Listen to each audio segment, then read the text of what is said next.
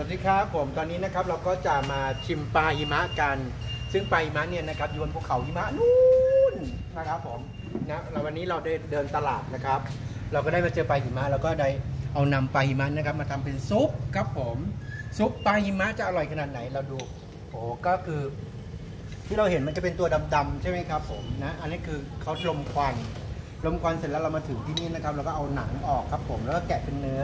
ทำเป็นซุปนะครับ ผมนี่นี่เนื้อปลาหิมะน่ากินเหมือนต้มน่าทานโครงนะ มากนะครับ ก็ถ้าเกิดเมืองไทยก็เหมือนต้มโค้งนะครับคุณ ทำไมต้องนะฮะลมควันนะคะ ลมควันเพื่อไม่ให้มันเสียครับ เนื่องจากว่ามันไม่ได้มีหิมะตลอดทั้งปีนะครับผม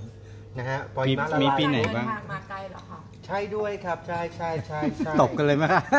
เออ ถามอย่างนี้เออถามอย่างนี้เฮ้ยหนัก็งอยากรู้หนังเราก็ค่ะเอานะ หนัง อ๋อไม่ใช่อ๋อหางค่ะ โอเคยังไงวะเอ้ยเดี๋ยวชิมก่อนเดี๋ยวชิมก่อนเดี๋ยวชิมก่อนนี่ชิมปลาหิมะก่อนเนื้อเนื้อเป็นไง อืมต้มยำเหรอ เป็นซุปแบบว่าได้กลิ่นแบบปลาอบอยู่ในปากแบบ เนื้อก็นุ่มมากนะครับผม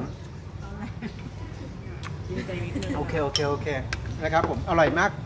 มาที่นี่มาที่ปูตาโอต้องทานปลาหิมะนะครับผม นะฮะหรือแม่งซื้อกลับเป็นเป็นของฝากก็ได้ไปมะปูตา